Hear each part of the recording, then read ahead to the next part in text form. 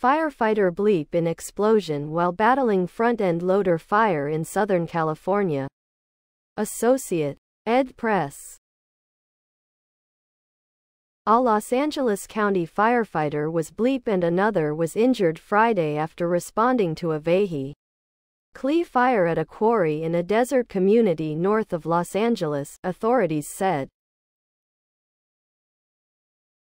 An explosion occurred shortly after a firefighting crew arrived at the quarry in Littlerock around 2:10 p.m. Bleep the 19-year veteran firefighter who was based in the nearby city of Palmdale, LA. County Fire Chief Anthony Marrone said. Marrone hadn't been to the site of the explosion and didn't know how the Below are your comments. My condolences to the family and friends of these brave firefighters, the death of one and injury to the other. These first responders are incredibly brave to put the safety of others first.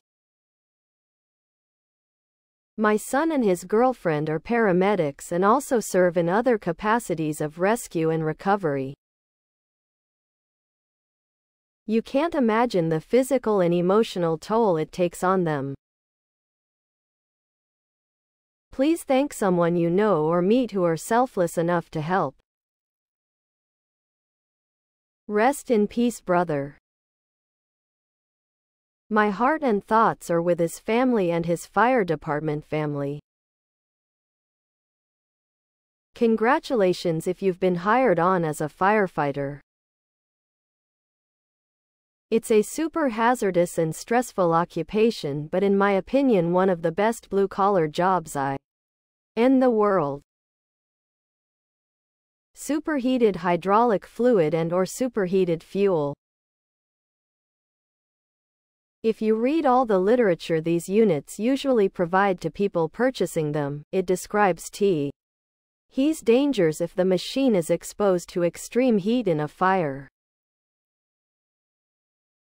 My sincere sympathies to the family and friends of Mr. Andrew Pontius, the firefighter who lost his life in this tragic incident. It is a heavy load to bear when the first responders of our communities are bleep. As Sheriff Robert Luna said recently, applicable to law enforcement and the fire department. When all other systems fall short, when people fall through the cracks, when no one else will respond. D. We fill those gaps every day. Rip Mr.